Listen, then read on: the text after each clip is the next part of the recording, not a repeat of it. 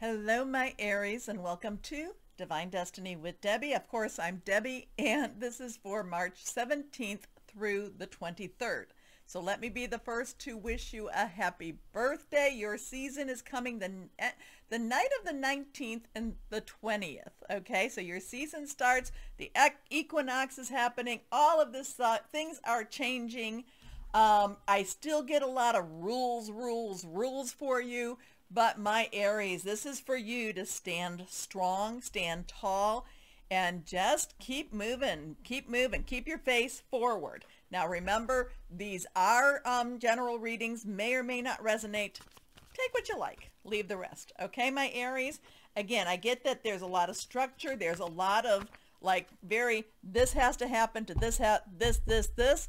Um, but again, um, and I'm not saying that you're going to be fighting them, but you have to stand strong and stand, uh, stand firm in your integrity. Okay, how's that? Okay, let's see what else we might have here. Again, your birthday season. A lot of people believe that this is actually, you know, like they believe that April 1st was actually the start of the new year way back when. So let's see what we've got going on for my Aries, higher power, Holy Spirit. What else do you want to say to Aries? Oh, they're they're breaking. You know, it's like you're pushing down the house of cards, my Aries. Um, you know, finding the weak spot and working towards it, whatever that is. find the weak, finding. I'm not going to say find the weak spot. It's like you're finding the weak spot, and you're um, you're going after that. You're going after that. Here we go. One, two, and three. Three cards face down. The first one is reversed, so it has a little more oomph to it. Let's see what we've got. First card is Queen of Earth. Well, I love the Queen of Earth because she takes care of herself. She takes care of business. So the Queen's underlying under energy is water. Cancer, Pisces, Scorpio. We're going from Pisces into Aries, so we still have some of that water energy going on. So this is fluid, emotional, very, uh, very um, spiritual. We also have a very thin veil right now. But the overlying energy is Earth, and that is our Taurus, our Virgo, and Capricorn. Taurus is the one with Uranus, and it is with um, with Jupiter in it too. Uranus is expect the unexpected. Jupiter is all about good fortune and wanting to provide.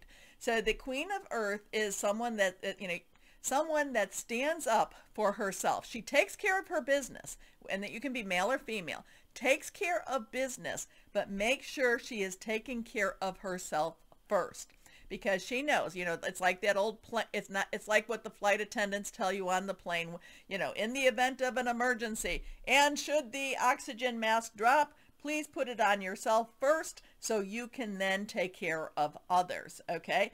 And it's, so it's not being selfish. It's not being, um, it's not being mean or anything like that. But you need to make sure that your mortgage is paid or your rent is paid before you lend to others. You want to make sure that, you know, there is food in, on your table for the people that you have to provide for before you give to others. I'm not saying that charity isn't needed or that you should not um, work, you know, not have charity in your heart. But many people um, tend to give, you know, tend to give to others and then they're in they're wanting okay? And the queen of earth has a wonderful reminder to you know when you can take care of yourself and you make sure that your bills are paid and things you are in a stronger position to take care of others. Wow i don't know who needed that but uh, hopefully the well i know the message will get delivered. Thoughtful creative warm and sensible. Make time for those around you. Take a sensible approach Deal with challenges in a kind and understanding manner. Next card here, renewal. So we have a major arcana. This is also known as the judgment card. So we have a 20. A 2 is crossroads choices, decision, partnering. 0 is God's source energy. This is this is kind of a crossroad energy here. Renewal is looking at your life, looking at what you've done, you know, that you liked, what, and also facing the stuff that you go, oh, that's rather cringy. I don't want to really even look at that. But it's looking at your life honestly. It's looking at who you are honestly.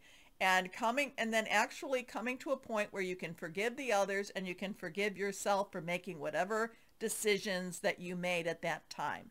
So basically it is a time of review, but it's also a time of contemplation. It's a time, and it'll say review and evaluate. It's a time to get your bearings. It's a time for you to really figure out what it is, where what it is you stand for and where it is you want to go. And then once you get that going, you are able to go and move in that new that new direction. So review and evaluate a favorable assessment of the facts. So so those you know those points that you go, no, I really don't want to remember, you know, me, you know, I don't want to remember that party. I don't want to remember, you know, maybe when I had a few more drinks than I should have. I don't want to remember those things, but you look at them. You look at them, you look and you listen and you learn, okay? And you can accept that that is who, that is what has made you who you are. Time to move in a new direction. And I love that because it's like, yeah, let's, let's figure this out. What have you learned? What have you, you know, where are you at?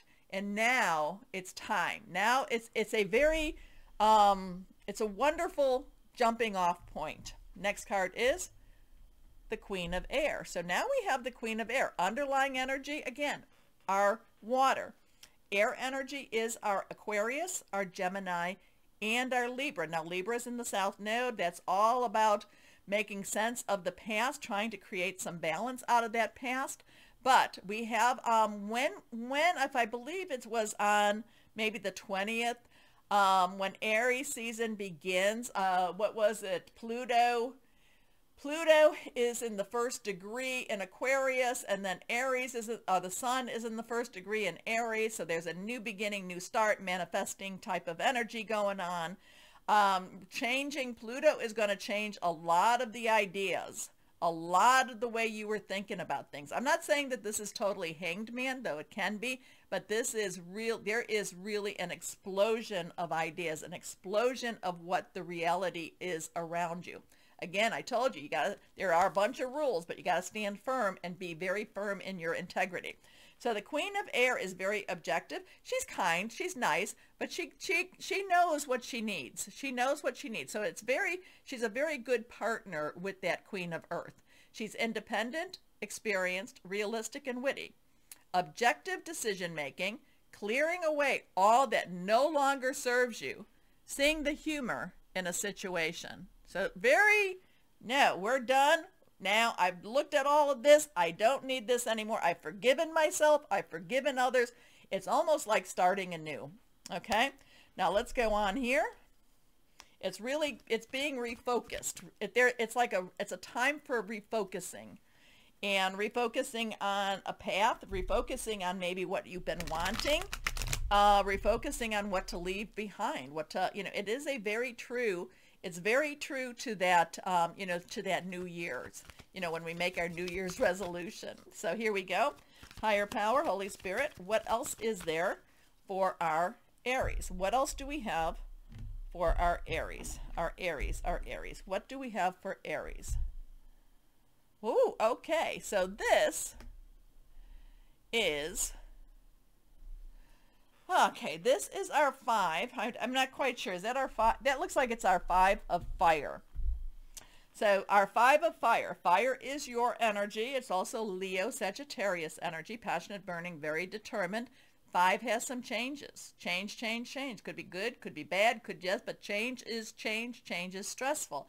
Obstacles and challenges. This is basically you know, just kind of like, like I said, you know, you got to take care of yourself. You got to look at what's going on here. You've got to be very objective in this path. There's always going to be object, uh, you know, obstacles and challenges. I told you, rules, rules, rules. And you, you still have to be very firm and you have to be very, like very strong in your integrity. Now, the thing about the five of fire, when we're in a different deck, maybe in this deck, the five of fire is, do I cross over in this? Do I engage or do I back away? You know, these are choices that we have. Now, one of the things that you can back away from is the drama of others, my Aries. So you can, you can either decide to dive in and engage. Um, you are never going to change, you know, if, if if they've gotten to this point where they're at, you're never going to be able to change someone's uh, mind per se. A lot of people do not like to admit that there is another way of looking at something. So, but it's all your choice. It's your choice. Do you engage or do you just kind of now say, you know what? You be you, you do you, and I'm going to just kind of go over there. All right. So let's see. Higher power. We're going to go with our angels of abundance. Let's see. So it's it it's not necessarily an easy week for a lot of people here, but you will have the moral um, authority to keep moving forward. Okay, you have the moral authority right now. Okay, my Aries, let's see. What else is there?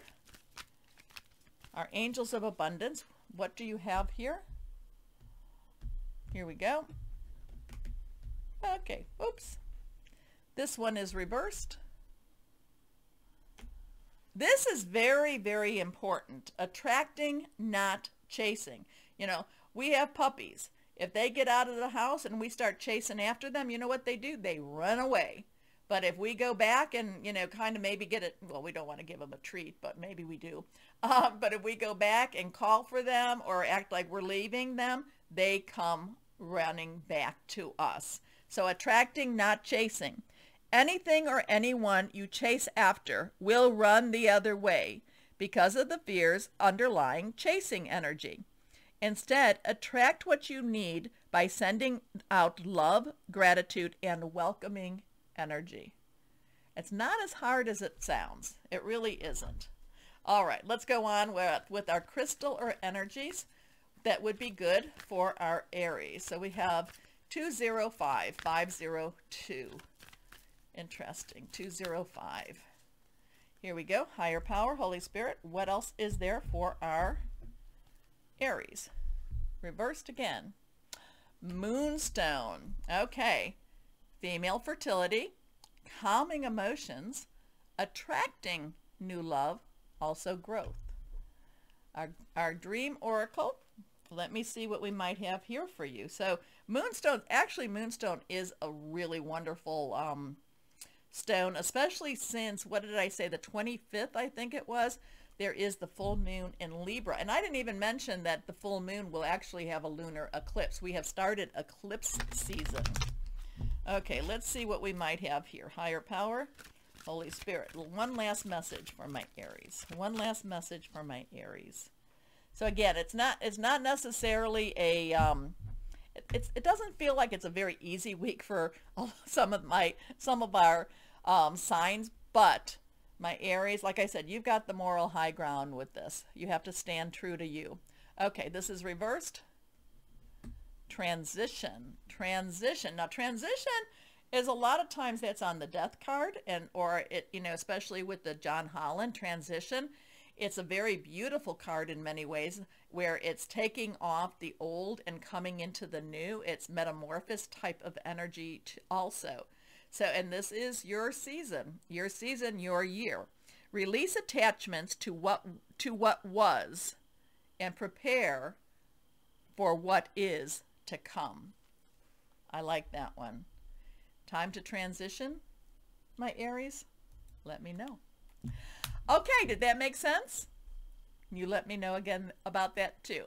Okay, do me my favor now. Like, share, subscribe, clicking on the bell for notifications. You help me. You help me so much, my Aries, by doing that.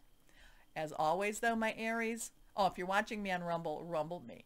Always, my Aries, know that you are loved, stay shining, and be blessed. Bye-bye.